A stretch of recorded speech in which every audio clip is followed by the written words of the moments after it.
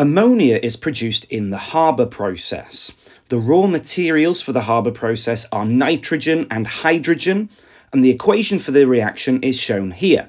We can see the nitrogen N2, diatomic gas, and hydrogen H2, also a diatomic gas. They are the reactants. It's a reversible reaction, and we're producing the ammonia gas, which is the main point of the Haber process. We've been asked to give the sources of the nitrogen and the hydrogen used in the Haber process? Well, the nitrogen comes from the air. Around about 78% of the air that we breathe is made of nitrogen, and so that nitrogen is extracted from the air by a process called liquefaction. And so simply for the one mark here, we can just say air or the atmosphere. The hydrogen comes from natural gas. Natural gas forms in pockets, typically above where we get crude oil formation as well. So the, the major gas in natural gas is actually methane, so it's totally fine to say methane as an alternative of natural gas. There is in fact very, very small amounts of ethane and propane and butane as well mixed in together, which is why it's called natural gas or natural gases. The chemical reaction that you use to get the hydrogen out of the methane is a reaction with steam, and therefore it is actually also okay to refer to the raw material used to get the hydrogen as water or steam as well, because that is one of the two components in the chemical reaction that gets the hydrogen out of the methane gas. But the primary answer that I suggest you remember is that the hydrogen comes from natural gas. And then the question says, how does the equation for the reaction show that the atom economy for the forward reaction is 100%? Atom economy, usually expressed as a percentage, is a measure of how efficient a chemical reaction is. And this efficiency is based on the mass of the atoms that we've paid our money for at the beginning, so the nitrogen and the hydrogen in this case, and the conversion of those atoms into useful products, the ammonia.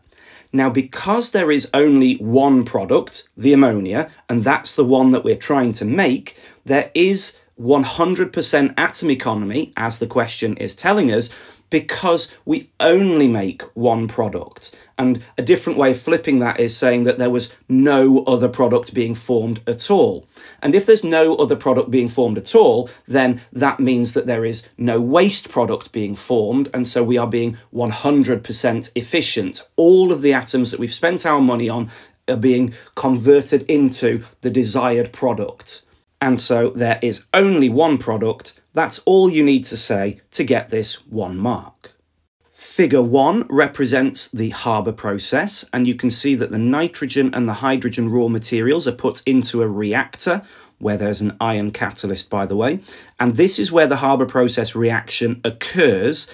And then because this reaction is reversible, that means we don't get 100% conversion into the ammonia. And so what comes out of the reactor is the ammonia, of course, but additionally the unreacted nitrogen and hydrogen enters this container X. And then from this container X, the ammonia is removed, which is what we want. That's what we're going to use to make fertilizers, etc. But then the unreacted nitrogen and hydrogen get pumped back around into the reactor. It gets recycled. And this question here is asking us how that process occurs. Explain how the ammonia produced is separated from the unreacted nitrogen and hydrogen in X. The process occurring in X works because we've got three gases that have all got different boiling points. And when we cool these gases down, the one that has the highest boiling point is the one that is going to condense and ammonia has the highest boiling point out of all three of these gases. And so when we drop the temperature down from around 450 degrees C that it was in the reactor, we keep lowering it and lowering it and lowering it. And once the boiling point of ammonia is reached, the temperature is not high enough to keep that ammonia as a gas anymore. And so the ammonia turns into a liquid. The hydrogen and the nitrogen, they have a boiling point much lower still, and so it is still hot enough to keep those two molecules as gases, and so they remain as gases, but the ammonia has been liquefied as a result of this cooling down. And what that allows us to do is to get liquid ammonia out of the bottom of container X, and then the gases of nitrogen and hydrogen, they remain in X, and then they can be pumped around still as gases back into the reactor where they will go again and react again to make more ammonia. So for two marks, we need to get one mark for saying that they cool it down. You could probably say that the temperature is decreased for this same marking point, and then the second mark is for saying that the ammonia liquefies or it condenses or it turns from a gas into a liquid. The Haber process uses a temperature of 450 degrees C and a pressure of 200 atmospheres. The table below shows how the percentage yield of ammonia produced at 450 degrees C changes when we use different pressures. And we've been commanded to complete figure 2, which is this graph on the right hand side. The first two points have been plotted for us, and we need to use a suitable scale on the x-axis, so that is this x-axis here, where they've already labelled it as pressure for us, and then plot the remaining data points and add a line of best fit. So our first job before we can plot any points is to work out what a suitable scale is.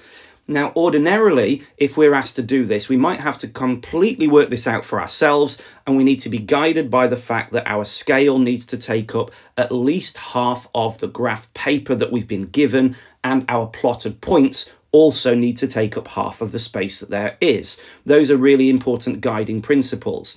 But here, because they've plotted the first two points for us, we can kind of work backwards to work out what the scale must be. So the percentage of ammonia being 9, that's this point that they've plotted here, and that's 60 atmospheres for this point like so. And that means that this point must be 60, and the next one along is 18, and the atmospheres is 120, so that means this is 120. And so what we can deduce here is that if this is 120, this point here must be 100. And so each minor grid line is 10 atmospheres. And so that means we've got 50, 100, 150, etc. as we work our way along to the right-hand side. So that's one mark now for a suitable scale. And then it comes to just plotting the points on the graph. The next one that hasn't been plotted is 180 atmospheres. So here's 150, three small squares along makes us 180, and then we need to go up to 25, and so we're plotting it here. The next one is 240, so that's 250. So 240 is 10 less than that. And we need to work our way up to 30. Now, we haven't explored this yet, but 30 and 31, each small line is 1%. So that's quite a nice scale, really, that they've given us for this graph. So 31 is going to be here. And then 300, well, that actually is on a major grid line, so that's going to be here. And we're going up to 36, so this is 35, and so here will be 36. 360, well, that's 350. 360 is here, and we need to go up to 40, so that again is on a major grid line. And then 420 is the last one. And so we need to look for 400 and 410, 420 is here. And we're going up to 40, 41, 42, 43. And so that is our final point. There are two marks for plotting these points, and how this normally works is if you've got five points that we need to plot, like we have here, you'll get one mark for plotting three or four of those points correctly, and you'll get the second mark if you've actually plotted all five of them correctly. How much tolerance will they allow? Well, you can normally get within half a small square of where it should be. And so that means that if you were plotting a point at 31 and you plotted it at 31.5, you would probably get the benefit of the doubt in that case. But if you were plotting 31 and you plotted 32, you would lose that mark. So as a rule of thumb, plus or minus half a small square is what we're working towards for either of those axes. And so because that is the case, it's important to make sure your points are nice and clear. Don't draw with a quite a chunky pencil so that it's not really very obvious where the line is. And so, for instance, this cross here is probably too big, and so that's why I've gone for quite small crosses early on. So it's very obvious which area of the graph paper I'm actually targeting with my cross. Crosses are definitely better than dots because it's easier to aim them and it's also easier to see them once we draw our best fit line that we're about to draw in a minute. It's very easy for dots to get hidden by a best fit line and so you could end up losing the marks for plotting the points if your best fit line covers up those dots that you are using to indicate the points. Sometimes it's really important to plot the zero zero mark here, but we haven't been given it, so you should ignore that on this occasion. But just be on the lookout if at the top of the graph they were saying zero atmospheres was 0% yield. We've not been told to plot that point, so there wouldn't be a mark for it, so let's not worry about it.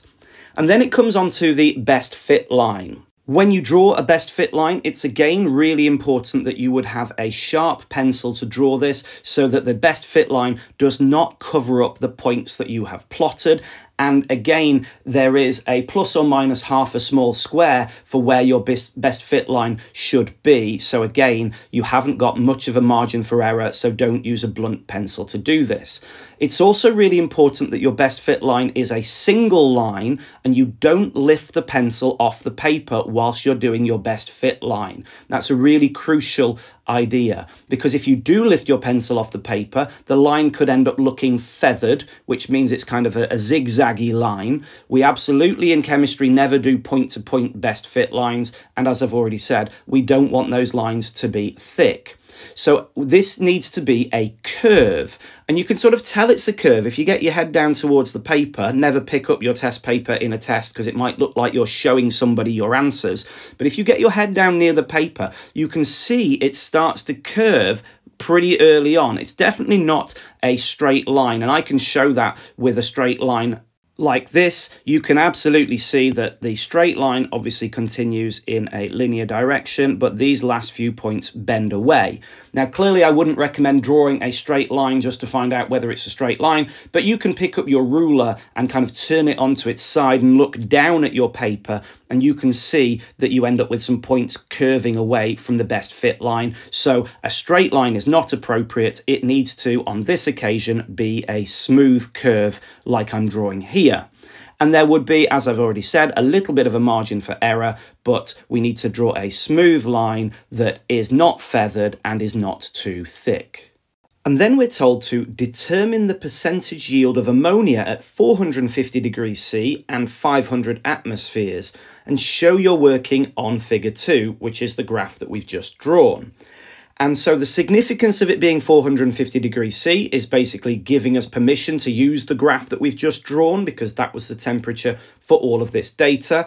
But 500 atmospheres is a pressure that was not measured, so we don't actually know what the percentage yield is, but we're using our graph to work out what it probably is. And so when they've said show your working on figure two, that means that there is a mark here for indicating on our graph how we are getting towards our answer. And the way that we would do this is by a process referred to as extrapolation. Extrapolation is where we look at a set of data, for instance, the data that we've got here, and we look at the pattern that it is showing. And then when we get to the end of the data that we've collected, we assume that this pattern will continue in the sort of direction that it was going. And so that's the process of extrapolation, to continue a pattern and assume that it does continue in the same way. And so there'll be one mark in this question for literally drawing a continuation of that line. Now that could be in the exact same way that we did before, or it could be a dotted line or a dashed line. Either of those is absolutely fine. But what is really important is that we continue our line to at least 500 atmospheres. If you go beyond, that's absolutely fine, but it must go to at least 500 atmospheres as I'm showing here. And then having done that, what we're doing is we're looking at our 500 atmosphere line and we're looking at the percentage that we reach. So my line went to about 46%, perhaps just a tiny bit under, but we'll get a mark here for reading across to our y-axis to wherever our extrapolated line gets to. So mine got to 46%, and so to correctly read it, I would have to write 46% as the percentage yield at 500 atmospheres. Now, if you extrapolated your line badly and you got a different number, you would get some credit for correctly reading off your poorly extrapolated line. And depending on how you plotted your points earlier, this will also affect your best fit line, which will affect your extrapolation, which will affect your percentage. So as a result of this, there's probably going to be a range of acceptable answers, perhaps between 45 and 47, or maybe even beyond, depending on the quality of the line that you drew earlier.